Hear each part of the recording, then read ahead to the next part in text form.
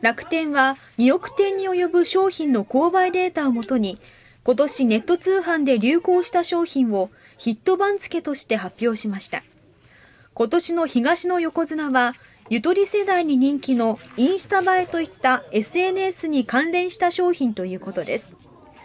楽天市場では植物の標本でインテリアとして人気なハーバリウムは前年比で2100倍以上の売り上げで、他にも電球型のグラスに色鮮やかなドリンクを入れる電球ソーダなども人気でした。